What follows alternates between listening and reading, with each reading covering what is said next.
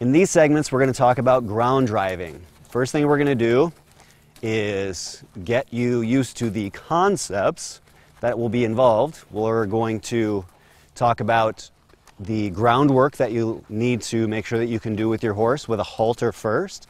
We're going to talk about using your Vienna rein, which is using just one side of your driving reins, the inside, making sure that your horse knows how that feels going through your stirrup to your horse's bit. We're going to talk about which bits to use when you're ground driving so that your horse and you can have good communication.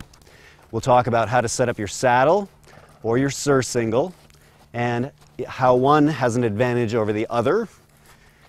Then we're going to talk about using your long line so that you can get used to adjusting your reins, which is very different from adjusting your reins when you're when you're actually riding. You're uh, you clearly have these long reins. I've got 30 foot lines here, and then we're going to move into the round corral and start some ground driving. We'll go through the walk and getting your horse to walk around the round corral. And the round corral is a great place to start because it does a certain amount of the driving for you. You can understeer or oversteer, and your horse is still going to move around in a circle. Once we can do a couple changes of direction, then we'll go ahead and get your horse to trot, and then we'll get your horse to take up a lope or a canter, and then we'll show you how to take your ropes off of your horse after you get done driving. In future segments, we're going to talk about driving in the arena in a much bigger and open space, and then ground driving out in the real world where you can uh, use your ground driving skills to desensitize your horse rather than having to be on top of them all of the time, putting yourself in danger. So let's get to it, ground driving. Desensitizing with the long line. Before you're going to do any ground driving, you've got to make sure that your horse is very well desensitized to your rope and I'm going to assume that your horse is desensitized to your short line, but you're going to want to make sure that you can go up and around your horse's legs constantly, that you're managing the long part of your rope. And we have segments on coiling versus looping your rope. You want to be able to go below your horse's hocks, especially on top of your horse's hocks, and there should be no kicking or complaining at all. You want to be able to go up and over your horse's shoulders. You want to be able to swing up and around like so. If you are already riding your horse and you haven't done any ground driving and you're just learning to ground drive for fun, then it would be even good to be able to sit up on your horse and swing that rope around a little bit but you want to make sure, like Katie here, that she has absolutely no issues with this rope at all. Swinging it around, bringing it forward, going up and over her head right there. She should really have absolutely no fear. And again, right now, as my rope gets a little bit tangled up, I'm going to throw it down. And I'm going to coil it up, leaving my left hand nice and calm so that my rope is not swinging all over the place like this every time I pick it up, which is very distracting to your horse. If you want, put the belly of the rope on the ground, loop your rope up, and again, swing it around, around both legs. You're making sure that nothing is going to upset your horse. You're going to want to make sure that you do, that, do this on both sides of your horse. I'm going to get everything organized. Good girl. Remember, you're training two sides of your horse. You've got your on side and your off side, or the left side and the right side of your horse. Good girl. Katie's a little bit distracted with flies at the moment, so that's what she's looking around for there. And again, know your horse. Know is it that she's upset about the rope on this side, or is she now just upset about flies, which is what she is. And I can even help her out here a little bit by swinging my rope back and forth. Good girl. And chase away some of those flies. Again, if I can bring this up and around, you have to be a little bit ambidextrous doing this. I'm using my left arm, and I am, in fact, right-handed. And again, up and over. Practice that with your rope. The last thing that you're really going to want to make sure is that the horse is not going to react in any way or in adverse way with the old cowboy turnaround. So get your rope ready. I'm going to go to the on side of the horse. And I'm going to lift this up and around. And again, she should have really no reaction to that. And I'm going to bring this slowly back over to her hip, down to her hock, and then gently pull it and ask her to step through. And again, I'm pulling. Good girl. Pull a little bit harder. Get in time with those feet. Very nice, Katie. Hi. Good girl. And then I would do the same thing on the opposite side. So I would just let her know that she did the right thing. I'm going to let her go ahead and tug it a fly. I'm going to bring this up and over. And she shouldn't be anticipating either. If she now starts thinking that she should start spinning in circles and, and doing all of this kind of stuff, you want to make sure that your horse knows that they should stand still. So again, I'm going to bring this around. And on this side of the horse, very gently pull. I don't want to be yanking her down or tripping her, but she needs to feel that line on her hock. There she goes. And as she steps with that inside hind leg, pull a little bit harder. Good girl. So you need to make sure that you and your horse are comfortable with the long line. You need to make sure that you're looping and coiling it. Your horse should have absolutely no fear of the long line before you can do any ground driving. Groundwork review. Once you're both comfortable with desensitizing on the long line, you'll want to make sure that you review the groundwork exercises. Good girl, Katie. And I'm going to ask Katie to move off.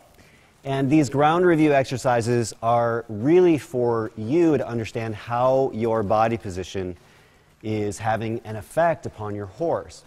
It's not enough just to say, look, I'm going to go out and put some long lines on my horse and push her along. And uh, I'm going to work on a square here, move her th- up through some of her gaits. Good girl. And as you can see, I have to wait on the corners and then push her and let her know that we're going to go forward. These are all the exercises that we talked about in the groundwork exercises. But if I get ahead of her, even just this far, she's going to want to stop and change direction. And it's very important that if you want to change direction, you know that you can do that. Good girl, keep moving. But if you are accidentally getting in your horse's way when you are driving, you're going to have two lines on either side of your horse and things get to be twisted up. And it is much more dangerous to have two lines crisscrossing your horse back around the hocks. And um, so it's very important that both you and your horse have a very clear understanding of what is expected from both of you. All right. I'm to ask her to trot. She's going so slow. Hey, sweetie. Good girl. So all that's going to happen now is I'm going to make a slightly smaller square. I'm still going to slow down on my corners. Come on, sweetie.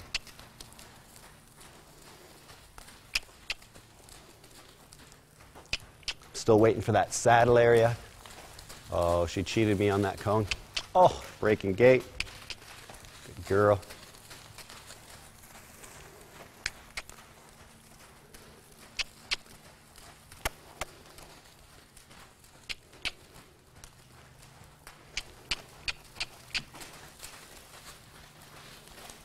And again, I'm not looking for perfection because I'm not getting it clearly. Good girl.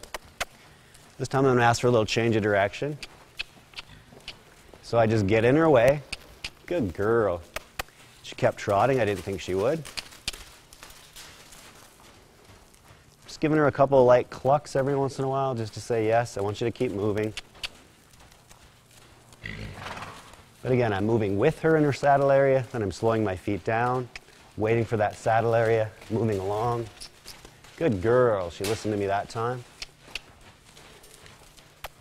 Waiting for her. And now I'm just going to back up You'll want to make sure that you're doing circles, squares, changes of direction, and then the, the cones in which you're going to the center, around the cone, and then to the next cone, and then to the next cone. And uh, so that you have a very good understanding of your groundwork, your body language, and again, handling this long line. And uh, I have a special orange line today. It's a little bit kinky and a little bit messed up. And so you could see I was mishandling it just a little bit. But you, as the handler of the horse, need to make sure that you have the skills to deal with whatever, whatever you've got attached to your horse. Setting up your saddle to ground drive. You'll go ahead and put your saddle on normally, and then the only thing that you'll really need to do is tie your stirrups together. This is very important because as you have those long lines through your stirrups, if they're not tied on, they'll have a tendency to lift up like this and smack against your horse's side, which is troubling enough as they get smacked. But the more difficult thing is that if they're not tied, then your ropes lose the leverage that they need to move your horse's head from side to side. So normally I would tie to the off side and uh, or put a you know, whatever string that you have. It doesn't matter exactly what you use, you just don't want it to be in the way. Start on the offside, go over to the onside and tie it, but for this purposes right here, I'm going to start on the onside. You want to go through, pull it down, and you can use whatever knot you're comfortable with. You can use a, a square knot, and you want to make sure that they're a fair bit tight, not so tight that it's going to you know, be more upsetting than, say, your cinch. And, uh, you know, this is not too much that's hanging off there, but you still might just go through and put a little half hitch in just to get it out of the way. And these are all knots that you can take a look at in our sections about knots. And it's nice also if your stirrups are turned sideways like so, rather than laying flat against. But even if you tie tight enough, your stirrups that are laying flat will have a tendency to twist out. So again, that rope is going to go through here. And I'm just going to trust that Katie's going to be kind to me and not walk off. But as I take my long line and come through the stirrup and then connect to what will be the bit in just a few minutes, that again, this is not going to pull away from her side. It's quite firm right now. And, uh, and it's going to slide nicely through rather than being trapped and needing to twist first. And that's the way that you're going to set up your saddle when you're going to start your ground driving the saddle versus the surcingle. We've already got Katie set up in her saddle here. And again, all that's happened is you put your saddle on normally and then you tie your stirrups together. And then you're going to go through your stirrup and connect to whichever bit you're choosing. And, uh, and if I were going to drive, what I would do is I would loop this up and hang it then over my saddle horn go ahead and take care of the other side and then take that off, which we'll talk about in a future segment, making sure that that does not hang too low. And if it does, oh, she just heard someone talking to her. So the saddle really gives you a lot more control than a surcingle. And the reason is because your saddle is pretty rough and gruff. And with the stirrups tied together, even if something would go a little bit wrong, if you're working with a young horse or a horse that hasn't been driven before, you're going to have a certain amount of control and you don't have to worry about your stirrup breaking or your, uh, your leather uh, on your saddle breaking. So next we'll go ahead and compare that to a surcingle. Here I have a surcingle, which uh, has an attached cinch. I'm going to go ahead and put this over Katie's back. And goes right up next to her withers there. I'm going to go ahead and, easy sweetie, a few flies in the way here. And uh, go ahead and just tighten that up. With a surcingle, it's always a good idea to use a breast collar as well. And this D-ring here and here on the cinch, you would go ahead and, and attach that. It will give a little bit more stability to your surcingle. Now, these are the rings that your ropes will go through. And when you're first training a horse, you want to go through low, uh, on a low ring. So as you're first working with a horse, you'll use the lower rings and uh, you'll come through and then attach. And it would be a level of development as your horse gets used to working on the low ring, you would move up to the next ring, to the next ring, and, uh, and then move up as high as you can. How you doing, sweetie? Good girl. Now, the difficulty when you're training young horses with the surcingle is that surcingles are just not as rough and gruff as your saddle. And so these D-rings will tend to break out or, you know, full on pull away. And so a surcingle, I would say, is for a horse that has had a certain amount of ground driving, that has some schooling already, and is not going to need any very serious schooling pulls or steers. Um, so as you're first learning to your ground driving, I would urge you to use a saddle. And it doesn't matter if it's a Western saddle or if it's a dressage saddle. The saddle is going to give you a little bit more stability and other things that will help as well, even with your saddle, would be the use of a breast collar or even a crupper or a cropper if you prefer. But my advice, again, is that your saddle gives you much more stability and the surcingle would be for a horse that's a little bit more schooled and a horse that is just about ready to go into a cart. And the reason is because they need to learn how to use, how to steer off these top rings when they're being driven in a carriage or in a cart. And that would be the use of the surcingle, not just for strict training. Choosing the right bit. I'm only advocating that you would use a full cheek snaffle or a D-ring snaffle for your ground driving. And the reason is because you want to get this lateral movement or the side-to-side -side movement as you're using your reins. And the full cheek snaffle, even though it may look harsh, it uh, is actually the nicest bit that you can use for your horse, especially for these lateral pulls. It's pressing against your horse's face where there aren't any bones or teeth sticking out, and it's pressing very kindly. And it would be the same with the D-ring snaffle. Uh, I would prefer that you're using, again, either the full cheek or the D-ring as opposed to an O-ring or an egg butt snaffle. If that's all you've got, then you can use those. I am urging you not ever to use a Tom Thumb, which if you recall from our bit studies and segments, when you pull the Tom Thumb, what happens is it twists in the horse's mouth rather than pulling the head to the side. And so instead of getting this nice, you know, movement to the left and to the right, what you're getting is a twisting of your horse's head and pain with no real communication. That's what the tom thumb is going to do, even though it looks like a snaffle bit. This leverage throws off the communication. The other bit that I'm advocating that you do not use is your curb bit, and in a very similar matter, manner, as your horse has this in its mouth, and you go to pull this, again, you don't get this movement from, the, from side to side. You get a twist in your horse's mouth and head. And so you're causing confusion to your horse, not communication. So I'm advocating that you're using simply a full cheek snaffle or a D-ring snaffle, and that's going to be the most beneficial as you are doing your ground driving, especially if you've not done any ground driving before. Rein control. One of the things that you'll need to get used to before you start your ground driving is getting used to having two reins, very long reins. When I'm riding, of course, you just have a set of reins and you might have 18 inches, maybe two feet that you, of rein that you need to navigate. And we talked about a bite adjustment and going to two hands and hand adjustments, finger adjustments. But as you are doing your ground driving, it's a whole different set of skills that you're going to need. So here's a few things that you can practice before you go live with your horse. First, I have an orange rope and then a blue one. And I'm always going to keep them separated. Now, you can sort of walk with a rein in each hand like this. And that works really well if you're walking directly behind your horse. And I would always make sure that my reins are not getting knotted up behind me. So you want to make sure that you're able to grab and then throw your reins out, grab, throw your reins out, never mixing up these two. So whenever my hands come together, I might just put my uh, index finger up and so that my index finger is always separating these two.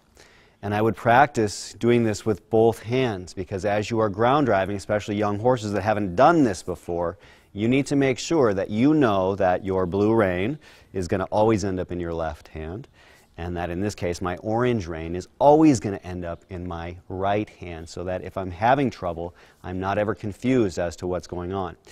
Now, you could practice uh, getting closer to your horse, or in this case, the wall, in two ways. If you've done some driving before, you'll know that you shouldn't really cross your hands to go and move your reins. So in order to stop doing that, what you would do is you would, again, put your index finger through, separate, and then you're pulling back, and I'm stepping forward as I do that. So as I bring my reins together, even here I want to make sure I'm separating and pulling back. So my left hand stays neutral all the time, and I'm adjusting the rein. Now, what happens if I've got my orange rein and it's, it's clearly much looser than my blue rein? As I come here, I would just grab my orange rein and not pull the blue rein back. And that's very important because as you start to make your corners with your ground driving, you're going to find that one rein is going to slide through your hand fantastically quickly, five, six, seven, eight feet, and you're going to need to make an adjustment as you're coming straight. So I'm going to go ahead and just back up here, and I'm going to let these reins slide through my hand. And I'm going to practice that again. So I'm going to go ahead and grab, move forward, grab, move forward. This time I'm going to try to make sure that my orange rein equals my blue rein and then keep adjusting, keep adjusting. And then I'm going to slide back again. And you need to allow your horse to move forward at times and you're going to really allow them to take some slack out of your reins. Now, again, if you've done some carriage driving, you'll recognize that what I'm saying here is that only one hand gets to move and there is no crossing. However, when you are ground driving, you'll need to be able to do this as well. So what I'm doing here is I'm going to, again, my index finger is going to separate and then I'm going to go forward and then I'm going to come forward. So now my right hand is going to be neutral and I'm going to come forward. So I am, as I'm ground driving horses, I'm going to fake it a little bit because I don't have the same rules as a carriage driver.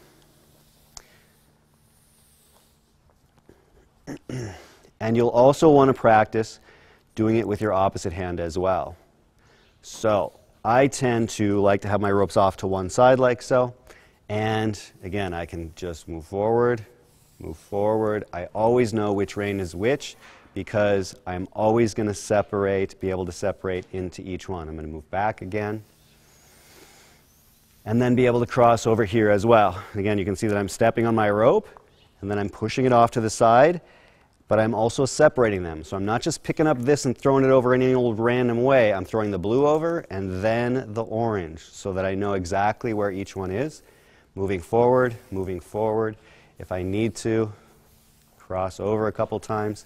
Again, if I've got one rein that is looser than the other, practice coming forward and adjusting one rein and then the other. These seem like simple concepts, but once you're moving with a horse, they get a little bit more complicated. The Vienna rein. The Vienna rein is going to be a, another way that you can get from just doing some groundwork with a halter to getting to the point where ground driving is going to be much easier for your horse to understand. What I'm going to do is I'm going to take my long line and I'm going to go through my stirrup, which are tied together, my stirrups, and then I'm going to clip to the bit on just one side. And uh, this is going to give your horse a sense of feeling that bit now moving uh, her, or her head from side to side. And this is important now. You only have control of your horse on one side. I do not have my second rein here. And if you've done your groundwork, this shouldn't be too terrifying for you. Because now, if I get to the point where if I'm in the wrong position and she turns around, well, now I don't have any control at all. So I need to make sure that I'm staying on this side of my horse, on the on side of her. And I would go ahead and do the very same groundwork that you did before with the halter. Hey, sweetie, wake up. Good girl. So I'm going to ask her to move off.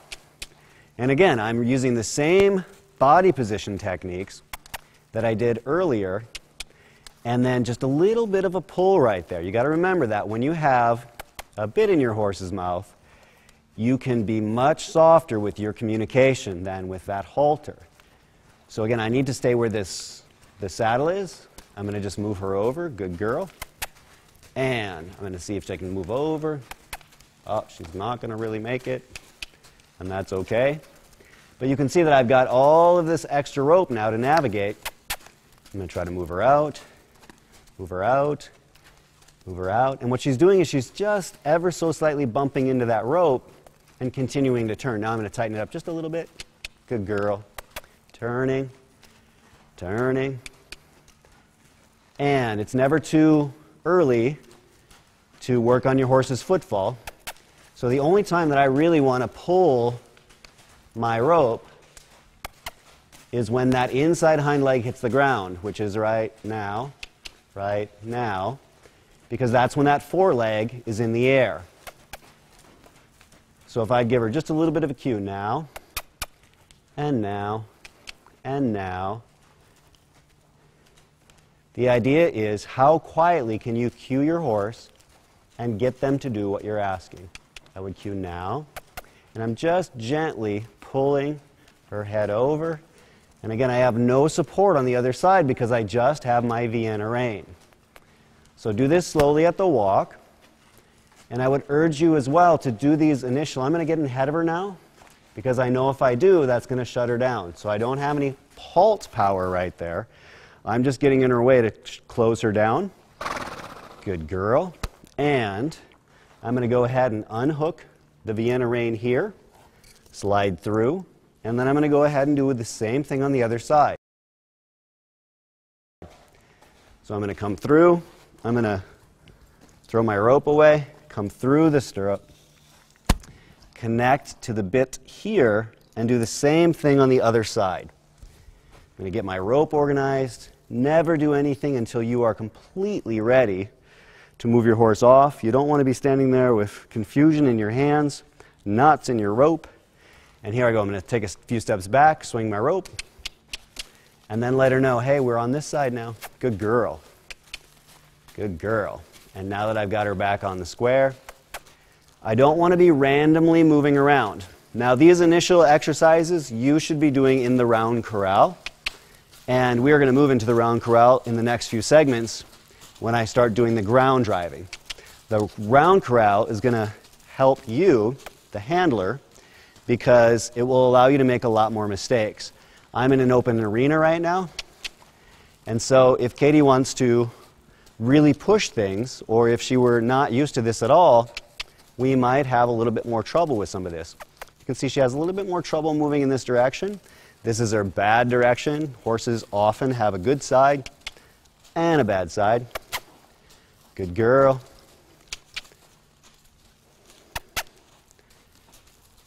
And again, I'm going to wait for her to kind of catch up to me. Good girl. I'm going to ask her to trot. Good girl. I'm just going to make a smaller square. Just let her know that this Vienna rein shouldn't be anything that she's going to be too concerned about. And again, when I want to get her to walk, I'm going to get ahead of that saddle area just a little bit because my body position is causing her to slow down and then to stop. So the point of ground driving is not to teach your horse how to yank and turn and stomp down.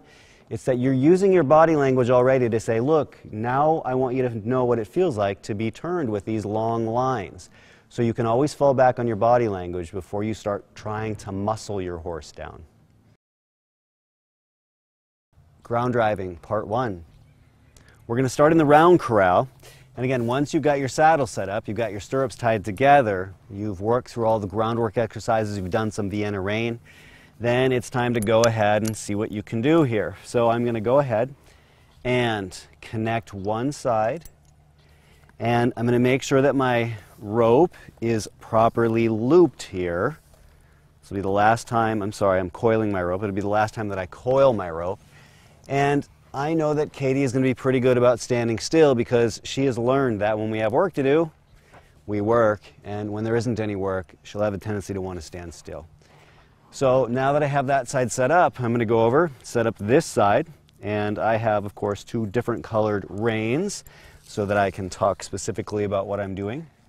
As I set this up, I don't want there to be any tension on my horse's mouth until I'm ready to do some ground driving. So I'm going to go ahead and coil up my rope, and I'm going to go ahead and take this and make sure that I've got the right line that's hitting her mouth. Now as I go back here, again, you want to make sure that you're not going to get kicked. And I want to double check everything. Make sure that my lines are in fact going to her mouth. And then I'm going to go ahead and make sure my ropes are on either side. Now as she starts moving, I'm going to put these ropes on probably my inside. Now I tend not to like to carry a whip, but I'm going to say, here we go. I'm going to give her a cluck cluck, walk off. And I'm going to send her off into the blue ring. Good girl. And again, your horse may not be used to being pushed around from the back. When they can't see you, sometimes horses get a little bit upset about that. Now, right now, I'm standing between my two reins because I am more or less behind my horse.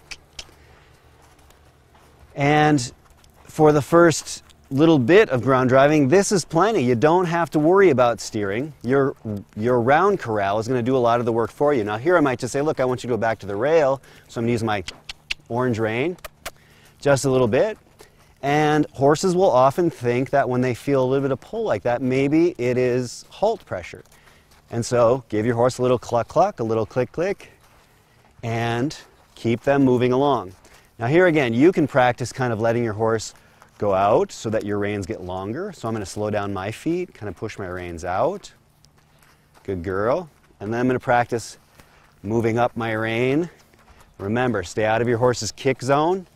So this is a time for you to get used to controlling your rope. Here my blue rope was longer or looser than my orange rope. Your horse now has to get used to feeling these ropes against their legs like so. So this is a time to just practice this without getting too involved. Good girl. Now I've got some cones set out here so that I can at least let Katie know that we're not just randomly walking in a circle. I'm going to say, look, we are going to turn around that cone. Good girl. Just give her a little pull, a little pull. And again, if I oversteer, she's going to turn in too quickly. If I understeer. The round is going to give her a little bit of a turn, turn, turn, turn. Good girl. And now that I know that she can turn to the left, I'm going to say, look, let's go to the opposite direction. So I'm going to come through the center, give her plenty of time to stretch out, and now just give her a little bit of orange and orange rein.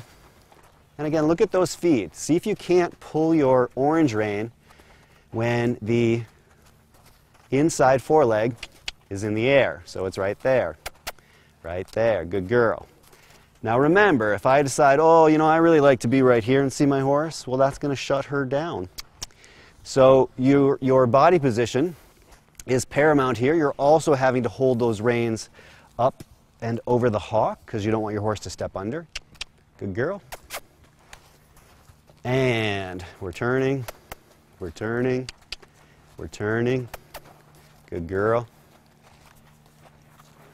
Again, that blue rope has kind of come down over the hock. And now I'm going to just say slow down, slow down, and stop. I'm going to let those reins slide out of my hand. And we've got the first little bit of ground driving. Good girl. And as she moves away, I want to keep my position back here. I don't want her to turn around and look at me. Now, for some horses, that's going to be difficult and I'm going to, again, keep my ropes out of the way.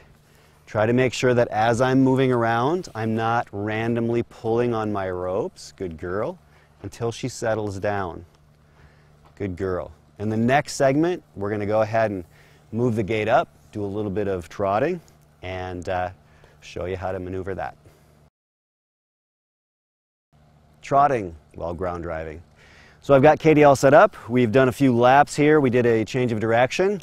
Now I'm going to see if I can't get her to move just a little bit faster. Good girl.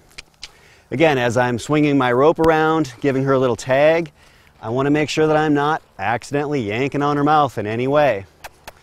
Now, again, you can decide if you want to have ropes on either side of you like this, or if you'd prefer to have them to the outside or to the inside.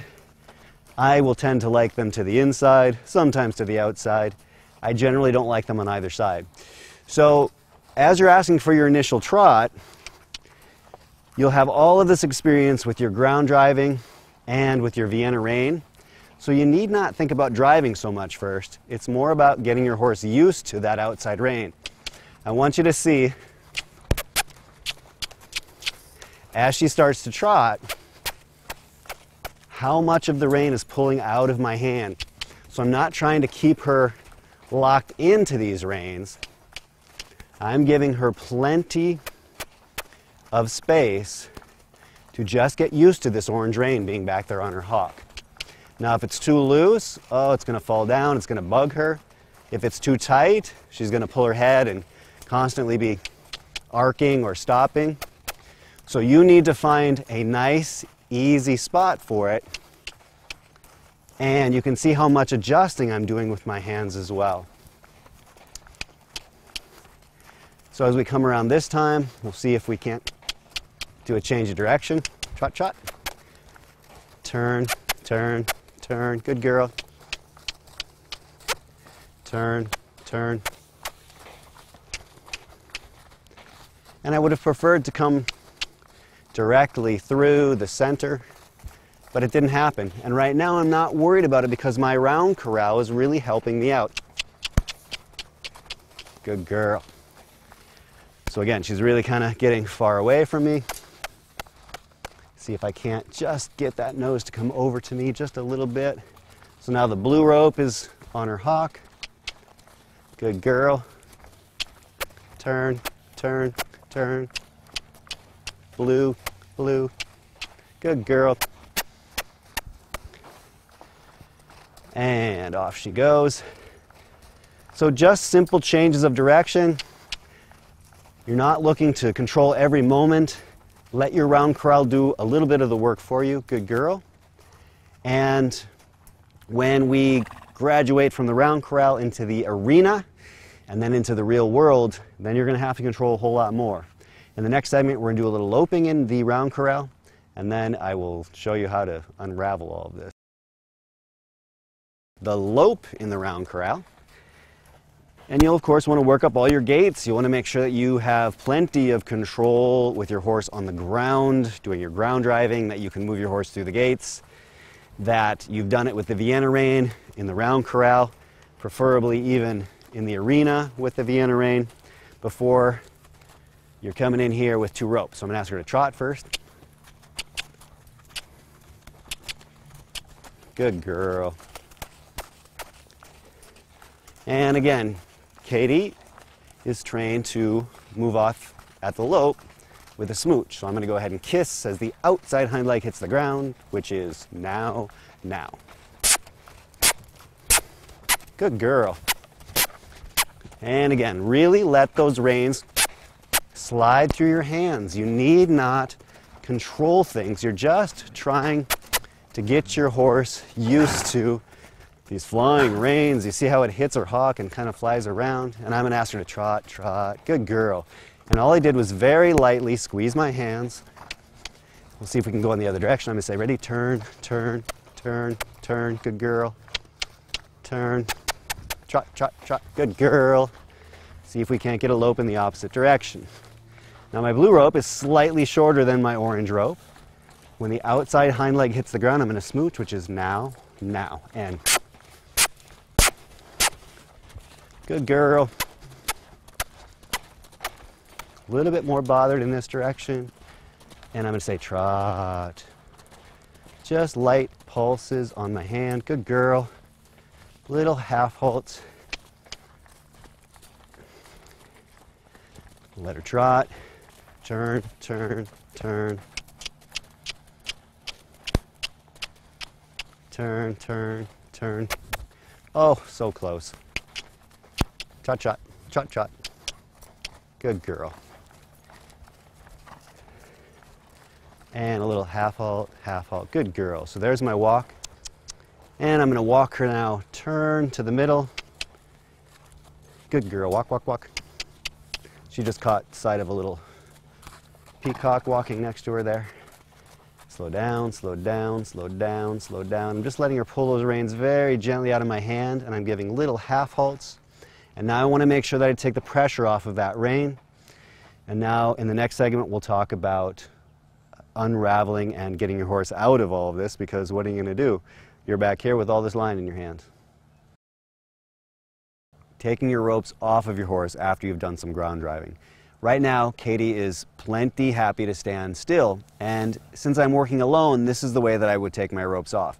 If I were working with a horse that had a little bit too much energy, I would ask someone to assist me and hold on to, I would still have a halter on the horse as well as the bit, and I would ask them to hold the front of the horse. But right now, what I'm going to do is I'm going to be very clear that I've dropped my orange line, and with my blue line, as I walk up, I'm going to loop it up, and I'm going to take it off of the bit, come through the stirrup, and then attach it again to the bit. So now I have some reasonable control over my horse if something would happen, if I want to say quit looking over there because I don't want you obsessing. And now I'm going to step over here. I'm going to take off the rein on the opposite side, come through, and now I have just one rein on my horse. Now, since I know that Katie is pretty desensitized to most everything, I would use this as a chance to further desensitize her by coiling my rope up and pulling it through her legs. And if she was now all of a sudden really nervous, then I would know that I've got more work to do with her legs. So at this point, I could either just hang this up on my saddle. If I felt like she was going to maybe move off, I might tie it using my strings, but I'm not going to at the moment. And that is how I would unravel myself from my long lines. Hi, how are you doing? Again, if I felt that Katie was, or the horse that I was working with, had a little bit too much energy, I would still have a halter on the horse and I would ask someone to hold on and make sure that everyone was safe. The most important thing is to unhook from your bit and come back through your stirrups as quickly as possible without having to do the opposite. Now I know that Katie's not going to flip out about this, because she's done it's all enough. But now there's just too much time that goes into this. Oh my gosh, 10, 15 seconds, and then the rope is, you know, making noise on the stirrup. And so the better option is to come through and detach from the bit and come through the stirrup and then reattach to the bit. So that all takes about three seconds, and then you're good to go. And that's how I would go ahead and take those ropes off. Ground driving in the arena. Now that you've done all of the basics in the round corral, it's time to move to the arena. Now, before I'm going to drive her in the arena, I want to make sure that she's desensitized to the arena as well. So I've got a lead rope, I've got a halter on her, and what I would do is walk this area and really kind of throw your lead rope around, smack things hard, making sure that she has no reaction to anything. And uh,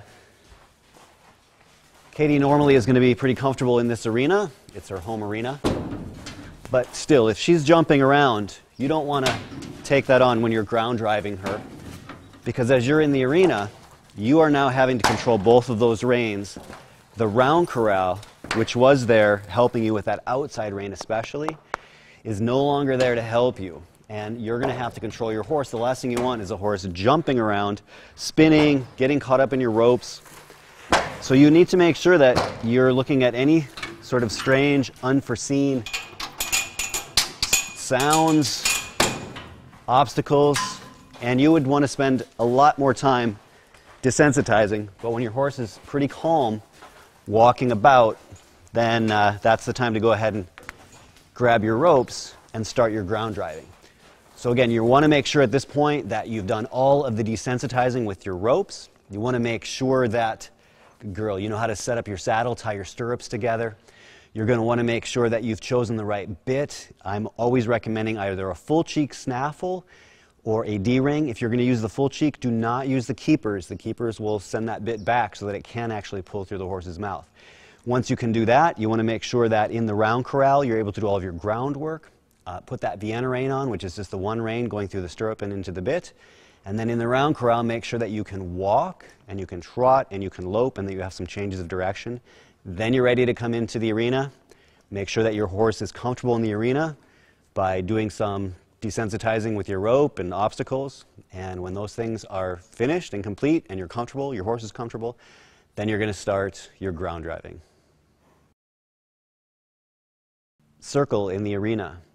Now that you're ready to go in the arena, uh, what I would do is make sure that you have a rope halter on underneath your bridle so that if anything does go wrong, you can unclick uh, and get back onto your halter. So before I start, then I would go ahead and set things up. So I would unclip from my halter. And again, I'm giving my Katie here a moment that she could really uh, take off on me. But again, if you're dealing with a horse that really is already taking off on you, you probably have a little bit more groundwork to do. So now I have my blue rein, which in this case is going to be my inside rein. My orange rein will be the outside rein. And my advice is when you're first going to go in the arena in your first circle, you're going to want to head into a corner. Easy, sweetie. And uh, again, make sure that your ropes are organized. I'm going to pull my orange rein to say, I'm not sure why you're turning in like that. But I want to head into the corner so that if anything is going to transpire, the corner is at least going to help me initially to shut her down. I don't want to start in one corner and head into the middle of the arena. I want to at least have a corner where I can really turn her in and try to shut her down before it gets to be a problem. So again, get your ropes organized. I'm going to ask her to walk off. I'm not concerned about a you know peppy walk off here. I want her to walk, and I'll swing my rope. Good girl. Just a slight little pull on my blue rein and then supporting with my orange rein, which is my outside rein. You'll want to start on just a very small 15 meter, 20 meter circle. Just pull your blue rein just a little bit every once in a while. Again, if you're to the point where you're thinking about your horse's feet, I want to pull my blue rein when my horse's inside leg hits the ground, which is right now. Right now. That's when her foreleg is in the air which is right now, right now. Good girl. I just want to keep her at a walk and get a sense of letting these reins slide out of your hand so I can slow my feet down, my horse can keep moving. And as she goes away, I'm just allowing those reins to slide through my hand. Remember, you don't want to be any closer to that hind quarter than you need to be. You want to stay out of that kick zone.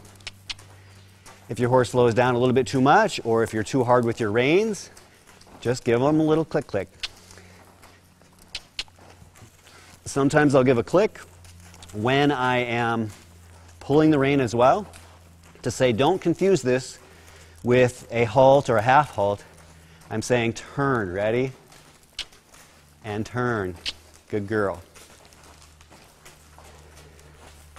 Now, once you're comfortable going in one direction, then you can do a very simple stop.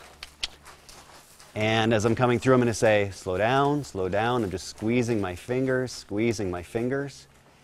And then I would go ahead and make my change of direction from a halt to a walk into the opposite direction. So you're not ready to walk through a change of direction yet. So we're going to go to the left. And now, as I change direction, my orange rein will be my inside rein. Pull, pull, good girl. And I want to be nice and calm. Pull, pull. And you're going to notice again that your horse is going to steer in one direction more easily than the other. Here, when I pull my orange rein, she almost snaps to the right. She just doesn't have the flexibility going to the right as she does going to the left. Good girl. And to the right. Good girl. To the right. Try to keep your rope above that hock. Turning. Let her walk. And we are turning now. Turning now. Good girl. And then when I want her to slow down, slow down, slow down, I'm looking at those front feet, just giving a little pull each time they hit. Good girl. And I want to make sure that I stay back here. So there it is, our first walk, our first little circle in the arena. Start in the corner, go slowly. The square. Once you've got your circle sorted out, go ahead and put four cones down and start on your square. And the trick to the square, let's go, sweetie. Good girl. Is don't worry about each and every cone. Good, go.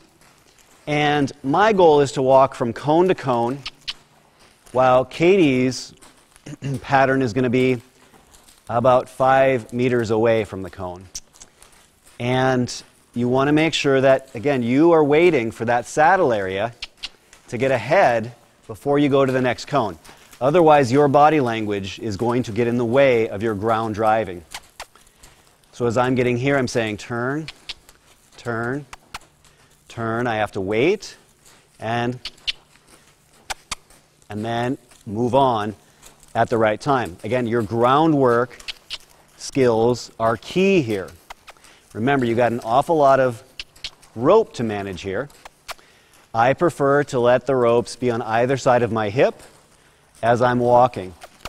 I'm trying to manage just enough of this orange rein over her hock without it falling down and without it being so tight that she pulls her head to the outside, which is what she's doing, a little bit to the outside. Good girl.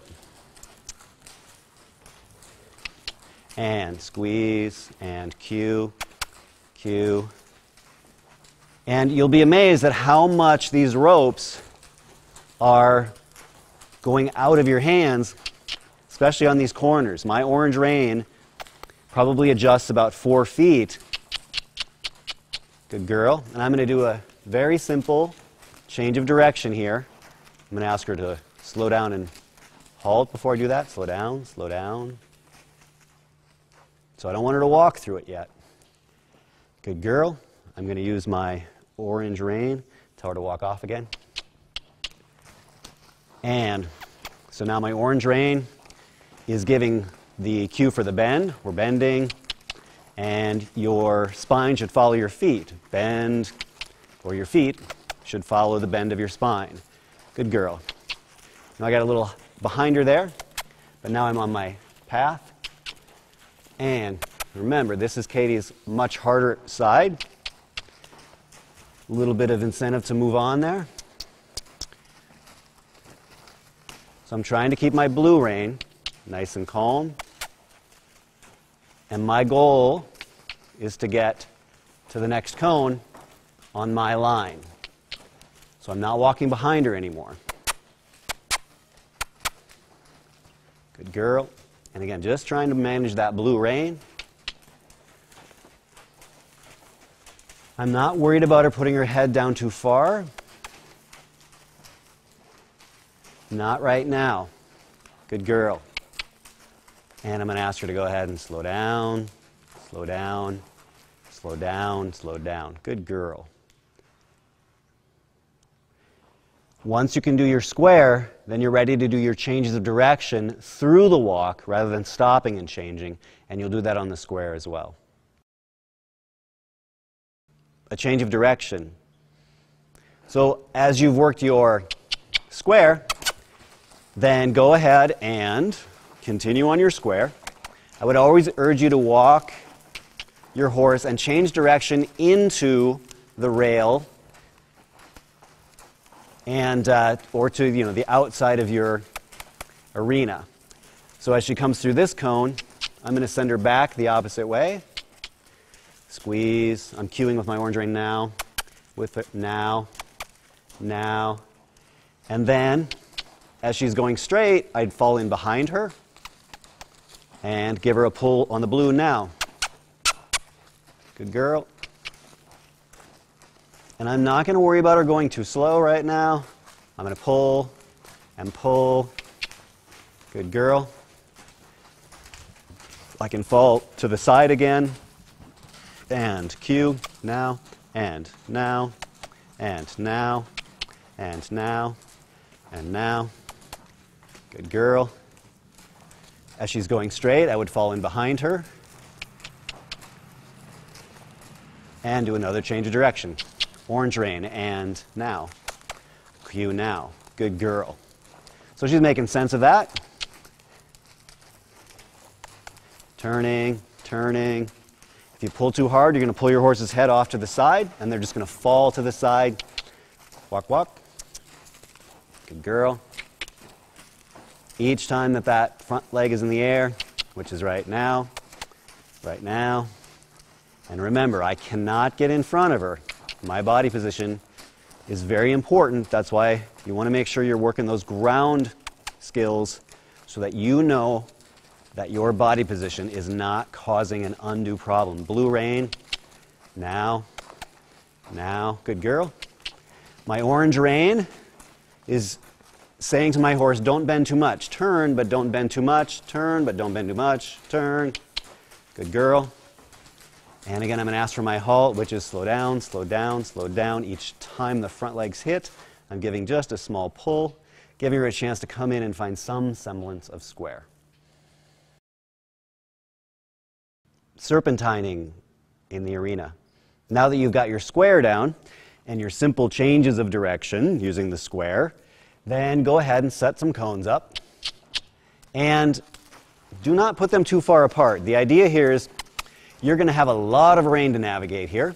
If you've not done a lot of ground driving before and you've just been riding, you only adjust your reins, you know, maybe 12, 18 inches once in a while if your horse stretches their neck. But now you're going to have a lot of rein. So right now my orange rein is pulling out. But as I straighten her, my blue rein is going to go zinging out of my hand. Good girl. And don't be surprised if your horse is going to stop just like that. Cue, cue, go straight, and cue to the left, cue. And now I'm going to make a full circle, red or orange rein rather, orange rein, orange rein, good girl. Send her in to the rail, trying to make sure that I'm not pulling on that blue rein. I know that I can feel my reins. Here we go, sweetie. On uh, my leg, so I know where they're at. I want to be able to hear those reins dragging on the ground. I would urge you not to tie them together behind you, otherwise, you're just making yourself a slingshot if your horse would take off. And I know that some reins, the long reins, uh, come with a clip in the middle, really inviting you to tie them together or click them together. But I would urge you not to do that. And, you know, get used to doing this a few times. I'm going to make just a slightly larger circle here. Come back around my, good girl. Come back around my cone, orange rein, orange rein, blue rein, blue rein. go straight, and blue rein. cueing now, cueing now, and orange rein, orange rein. good girl, a little bit more orange rein right now, and now, and blue rein just to straighten, and now blue rein to turn, which is now, a little orange rein to straighten her, blue rein, Blue rein, blue rein, good girl. So I'm working very specifically with her feet as I'm going through the uh, serpentine cones here. You want to make sure that you've got this serpentine down at the walk before you start working your horse at the trot and at the lope or the canter because you're really going to have to rely on your outside rein at those higher gaits. Good girl, Katie the trot in the arena. Now that you've worked through all of the previous exercises, you're ready to go ahead and try your first trot. And again, think about working on a circle or a square, preferably, so that both you and your horse get used to this idea of letting your horse go straight and then you having to turn and then saying nothing to your horse and then asking for a turn. And I would urge again that right now would not be the opportune time for me to ask for my trot because I'm sending her into the open arena, and I would at least like her to realize that you're going to run into the wall if you take off. So as I come through this corner, again, not the best opportunity to start my trot with a young horse. Now with Katie, I could do this, but I'm not gonna, just for safety reasons. All this time I can just work on my walk, practice cueing at the proper time, which is now, which is now. I'm going to ask for my trot as the outside hind leg hits the ground, which is right. Good girl. Make sure that you are not wrapped into your rope, like right there. I got a little distracted there. And we're back on our square. Good girl. Now as she's trotting, my square gets smaller, just like in your ground exercises. Good girl. I don't have to do as much work the faster that my horse moves. Now you can practice your cueing as well. When the inside hind leg hits the ground, now, now. Good girl. Cue, cue. Inside hind leg hits the ground now, now, now. Good girl. Just telling her to keep moving. And now I'm going to ask her to walk by saying, slow down, slow down. Good girl. Walk, walk, walk. And I'm going to go ahead and ask her to change direction. And I'm going to go ahead and ask her to go to the center, straighten her out with my orange rein, and then off we go in the opposite direction. Let's go, walk, walk. She's saying, hey, we already went. Good girl, trot, trot. Or move, move anyway. So again, the proper time to pick up my trot would be on this next straightaway here. I'm going to go ahead and get my blue rein organized, give her the click as the inside hind leg hits. And good girl. Just use as much rein as possible. Cue, cue, And you again can see that my body position is kind of pushing her out. I don't necessarily want to steer her with my blue rein. I want my body position to do a lot of this work. So as I speed up, I'm saying, hey, get away from me.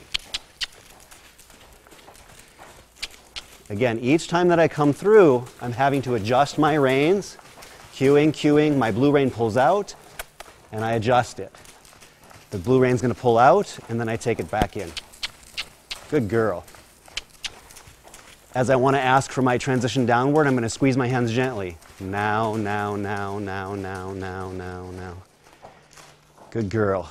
Slow down, slow down, and come to a halt. So we have the trot in both directions, and of course, you can start doing a little bit of serpentining at the trot as well. Change of direction at the trot. Now that you've got your trot in both directions, we're just going to go ahead and do the change. I want to make the change coming through this way into the wall and uh, give Katie plenty of time to make her decision to change. So I'm going to swing this, off we go. We're going to walk and turning. Good girl. Remember, you don't have to do all these things on the first day. For a young horse, you want to do a lot of ground driving so they get used to the feel of that bit and what is going to happen. So that when you jump on their back for the first time, there's no confusion about what the bit feels like in the horse's mouth, that it pulls them from side to side, that it asks for some halt pressure. So I'm going to go ahead and ask for my trot again. When the inside hind leg hits the ground. Good girl.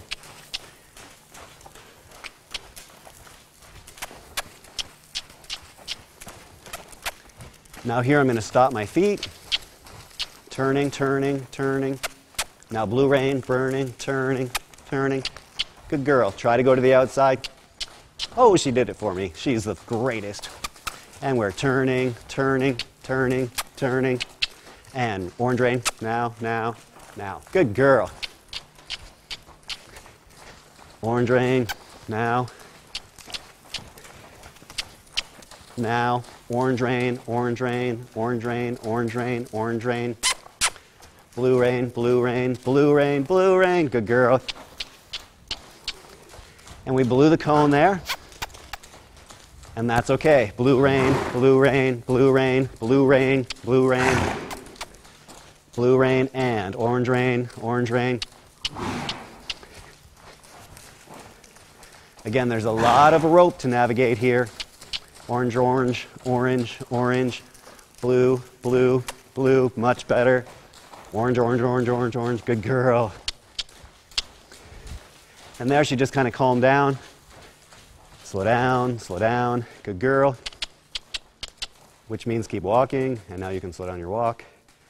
Very nice. Those are your changes of direction at the trot. Give your horse plenty of time. This might be a little bit small for you on this particular square. But again, try to go into a wall rather than into the middle of the arena because if your horse panics, they at least have to turn one way or the other. And, uh, and then you'll have a little bit more control of those ropes. Elope while ground driving in the arena. Again, the difference between your lope and your canter is that since Katie is wearing a Western saddle today, the gait is called the lope. If she were wearing a dressage or an English saddle, the same gait would be called a canter. So we're going to call it a lope today. And I'm going to ask for my trot. Good girl. I would ask for my lope in the same way that my other gaits, I want to ask for it as she's going into the corner or into the rail. Good girl. I want to be very careful with my reins. Cueing, cueing. Good girl. You can see the harder that she works, the less hard that I work. Cueing, cueing. Whoops, she's picked up a little bit of crossfire there. I'm going to ask her to walk, trot rather, and then again. Just ask her to fix her feet. So don't let your horse move in an unnatural gait.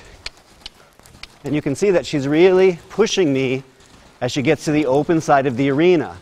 So I might ask her to say, slow down, slow down, slow down, slow down, slow down. Good girl.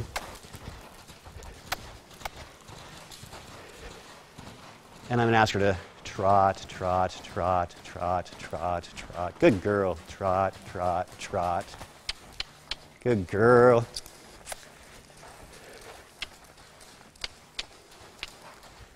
Ask for a little change of direction. Walk, walk. Good girl.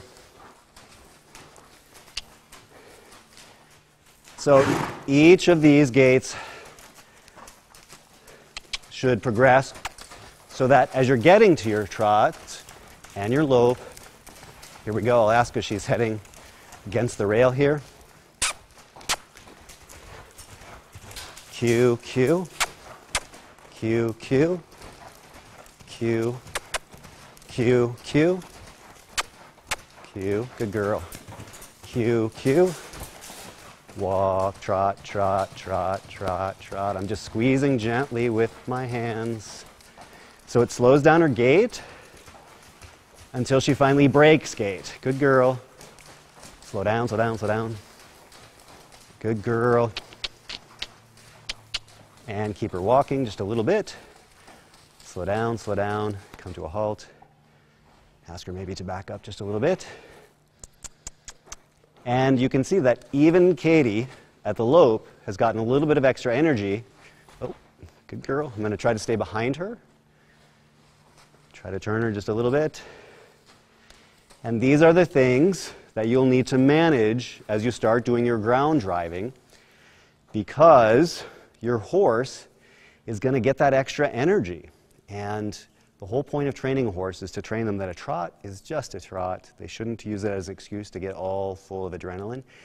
And more than that, a lope or a canter is just a lope or a canter. And uh, again, you could see that Katie was cheating me when she would get to the open side of my square because there's a chance that she could break free of me and take off. That's why I'm urging you to work in a corner and again, be ready for problems if they happen. And it's not the end of the world if they do, but there's a great chance for danger as you're moving up your gaits. So be careful at your trot, be especially careful as you're loping. Preparing for ground driving outside of the arena. Once you've worked your round corral and your arena, then it's time to think about going out into the real world. So what I'm going to do is I'm going to keep Katie on my long line. You can use the short line initially if you want, but I would walk your horse everywhere on your property and feel free to make commotion and move around obstacles, trees, this sort of thing. Again, if your horse is having spooking issues, it's not the time to round drive them. You'll need to do a lot of work with obstacles. Here we got a bridge. Gonna stomp on it, ask her to walk over it. If there's any complaining, I would not try to ground drive her across a bridge like this. Here again, I'm going to kind of stomp on it first to let her know that it's going to be there. And what I'm feeling for on my rope is if she throws her head up, I know that that can be a problem for me when the ground driving starts. Now she has a friend back there, Jody, that is nickering to her. Now here's a chicken here. Is she going to jump away when this chicken goes somewhere? Hey, chicken, hey. I'm going to kind of walk over these tarps. I'm not going to necessarily expect that she's going to follow me up here, but I want to make sure that she's not going to have a problem with that. So, at the very least, you need to make sure that your horse is comfortable enough being led in the area that you're going to start your ground driving. The point of it is not to desensitize your horse, it is to again allow them to feel what it's like to have to navigate through the real world without a rider on your horse's back. Good girl, Katie. Next up, we'll go ahead and ground drive her through the property and, uh, and see how she does. Ground driving outside of the arena. Now that I've got my reins all set up, it's time to go ahead and see how Katie's going to do in the real world. So again, I want to make sure that my ropes are controlled. I'm going to go ahead and just swing this, give her a little cluck cluck, and ask her to walk off. Now, again, you need to give yourself a lot of time to make adjustments. When I'm going through these two trees, for example, my goal is to go exactly through the center so that if there is any problem at all, I have a lot of leeway. As I'm heading down to the first little bridge here, I'm going to try to get her organized now, now saying we're going over that bridge so that if she overshoots it, now we're swinging back and forth, there. Now I don't have to say anything. She knows the bridge is there, and I'm going to say, we're going to go to the right. Good girl. Now my ropes, turning, turning, good girl, are dragging on the ground. There's a bunch of leaves. These are all things that, again, can really affect my horse. I need to make sure that if I'm going to have my ropes dragging like so, that they're not going to get caught up on a rock or a stump. So as I'm moving, I want to assess what's going on with the ground. So you've got a lot on your mind now. You're trying to steer your horse, you're trying to make sure your horse is relaxed, and keep moving. We're going to take a left and go down the road. Here we go, and turning. Good girl, turning. And there's no reason to make things go really fast. I've already walked her by the tarps. I'm not going to ask her to necessarily move away from them right now especially as her head is down. She's doing a nice top line stretch.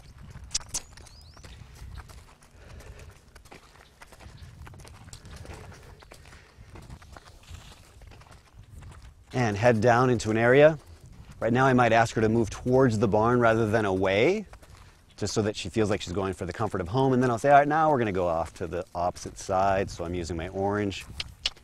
And I have a fairly big area here orange rein, I might do a circle or two.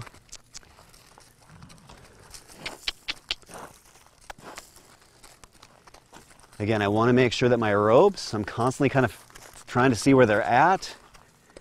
Kind of get them out of her way. Good girl. And turning, turning, turning. And I am trying to keep my hands in front of me. Sometimes when people are doing their ground driving, Oh, they're trying to not really adjust their reins, but they got their arms all over the place doing this kind of thing. I want to try to make sure that my hands stay in front of me and that I can adjust my rein here, but that I have control with my left hand. So as I come forward, whenever I feel like I'm losing control of my ropes, if I feel like I have to really steer with two hands, I'm right there to do it rather than trying to steer back here. Good girl. And we'll walk straight again. We have a nice, cool evening. And as Katie gets even quieter, I might stomp my feet to say, hey, are you even paying attention? Kind of throw my rope up here a little bit. And she's clearly nice.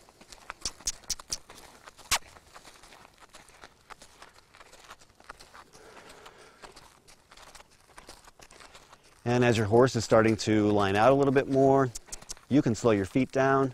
Practice having a really long rein. So I'm just letting the reins slide through my hand. Up ahead, I can see the same deer that were bugging her earlier.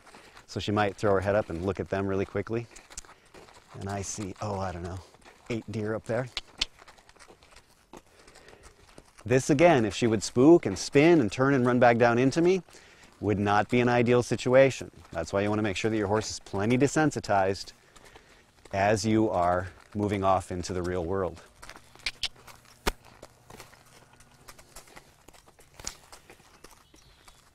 And then as you're entering back into an area where your horses are familiar, can hopefully they're nice and calm about this. Girl turning and now straightening with my orange, but now turning with my blue, straightening with my orange. And slow down, slow down, slow down, slow down, slow down, letting those reins slide through my hands. You might ask your horse to back up a little bit. Good girl. Again, I want to make sure that I'm in control of my ropes, getting them out of the way, asking her to back up. I'm not pulling hard, I'm just jiggling, jiggling, jiggling. Good girl. The point of the ground driving is not necessarily to put your horse into a cart, but it's so that your horse really gets used to how that bit is going to work in its mouth and the desensitizing of the ropes, especially on those legs and at those higher gaits. So don't press a horse too quickly. Even though this entire DVD or these segments will be 45 minutes to an hour and a half, it might take me a month to get a horse to the point where I'm going to be comfortable taking them out and driving them in the open area. But it really goes a long way when you're going to start riding a horse when they are ready to deal with just the weight of the rider and the leg cues and this kind of thing. So give your horse every opportunity to learn what that bit is going to be all about.